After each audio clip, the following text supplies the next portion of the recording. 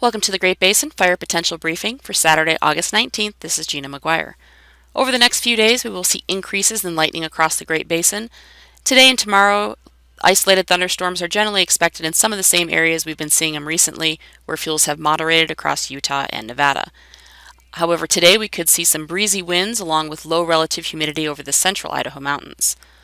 Also on Sunday, we might see some isolated lightning activity develop a little bit further northeast into Nevada, and these thunderstorms would be on the drier side, however coverage will remain fairly isolated. It's really Monday into next week that we'll see a greater increase in overall lightning coverage from south to north across the Great Basin. Over the last 24 hours, we've only seen some very isolated thunderstorms across Utah and Nevada and also along the Sierra front, which only produced light amounts of precipitation. Great Basin fire activity yesterday was light across the area. Over the last week, we've seen precipitation mainly across the eastern half of the Great Basin, with areas across much of Nevada on the drier side. However, over the last 30 days, due to the monsoon moisture in place most of the time, we had above normal precipitation for the southern half of the Great Basin and much drier conditions further north, especially in the central Idaho mountains. How this is reflected in our current fuel conditions, we can see ERCs are highest across Idaho, especially the central Idaho mountains, where ERCs are above the 80th to 90th percentile. ERCs decrease as we go further south where that moisture was in place in the southern areas of the basin, but ERCs have been increasing and are now above the 70th or in some areas 80th percentile across southern Idaho, northern Nevada, and northern Utah, and it is in this area also where we have the highest grass loading. You can see from the images on the right that ERCs have increased fairly rapidly across Idaho, where we had some cooling and some precipitation with a cold front earlier last week, and also even over northern Utah, ERCs have increased to near normal. 10 hour fuel moisture is still very low across all areas of the Great Basin as drier air has been in place. The satellite loop from this morning shows high pressure dominating the southwest, with weak low pressure off the southern California coast. This will allow that moisture to increase further north today Today you can see some cloud cover right along that stalled frontal boundary over central Nevada and central Utah, and it is this area that we will see thunderstorms redevelop again this afternoon. Looking again at the conditions for today, we do not have any high risk across the Great Basin, as fuels have moderated in most areas, but still remain on the drier side over western and northern areas. Again today we'll see most of the moisture right along that stalled frontal boundary across central Nevada and Utah. You can see from the image on the left where we are expecting those isolated showers and thunderstorms with the greatest coverage over parts of the Uinta Mountains and Uinta Basin and parts of eastern Utah. Winds will not be a major concern today across Nevada or Utah, except near thunderstorms where outflow boundaries are expected. We will have some breezy northwest winds over parts of central Idaho, along with low relative humidity. Wind gusts will generally be around 25 miles per hour. As we move into Sunday, we see a little bit deeper moisture move into far southern areas in southern Utah and the Arizona Strip, with even some weak moisture up into northeast Nevada. Still dry conditions persist across Idaho, with no high risk expected.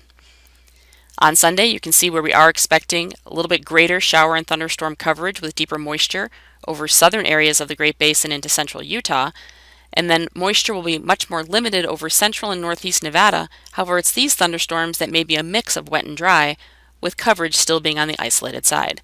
Again, winds won't be a major concern with the exception of outflow winds near thunderstorms, and still some breezy northwest winds over central Idaho with those dry conditions. As we move into Monday, you can see that deeper moisture start to push north over the southern half of the Great Basin, and also you can see the line of the eclipse through Idaho, where we will continue to see drier weather. We do not have any high risk issued for Monday either, however, you can see areas of Idaho will also start to dry out a little further in the central mountains and even southeast Idaho, again where dry weather has been in place for the last several days. You can see on Monday where we're seeing those scattered showers and thunderstorms where really lightning coverage increases across the southern half of the area. However, these thunderstorms will likely be producing some wetting rains and certainly have higher relative humidity. You can see the image on the right, greater potential for outflow boundaries as those coverage of thunderstorms increases. However, winds on Monday across Idaho will be decreasing from what we will see over the weekend. Overall forecast amounts of precipitation, so generally wetting rains in areas where we will see the thunderstorms, however the heavier amounts will be somewhat spotty until we get into early next week.